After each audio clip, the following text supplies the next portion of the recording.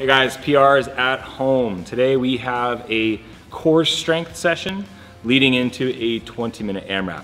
Now the core is gonna start off with some plank stuff. We're gonna begin from a side plank, toe tap. So what we wanna focus on is keeping our chest neutral. If we need to modify, go down to that bottom knee. But what we're gonna do is we're gonna focus on tapping in front, tapping behind. And the whole time we need to maintain good trunk tension and we're gonna go both sides. So after we hit that, we're gonna have a short rest, then we're gonna go into a side plank rotation.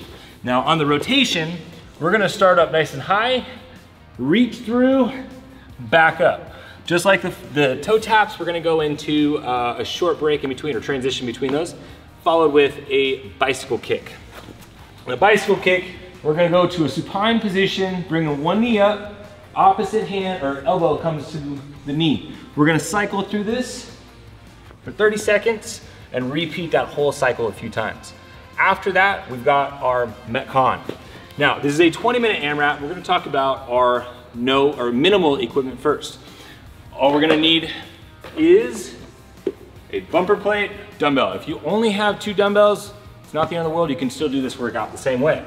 We're gonna start off, right now I've got this measured off. This is not 30 feet, but it's a 30 foot unilateral carry. So we got one arm overhead while the other arm is holding a farmer carry. We're gonna walk 30 feet. We're gonna set it down, transition to the other side to come back 30 feet. Once you finish that, we're gonna go into a 30 foot broad jump. Starting behind the cone, we're gonna drive off, land into a controlled position. That's really important. I wanna emphasize that landing in controlled position. Call this a safety stop. We're landing into a partial squat or a receiving position of a power clean or a power snatch. From there, 30 feet, then we're gonna hit a um, elevation plank. Now for the elevation plank, if you don't have a bumper plate, we can use a uh, book. We're gonna start on the top, come down, back up. We're going 14 of these, alternate it, switch it up however often you want.